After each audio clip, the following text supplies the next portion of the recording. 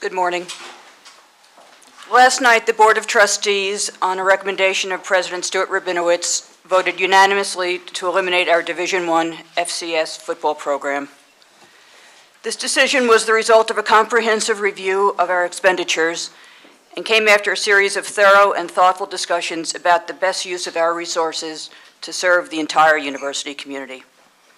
We believe that reinvesting the services, the savings to further our academic mission is in the, the long-term best interests of the university and will assist us in enhancing Hofstra University's reputation for academic excellence.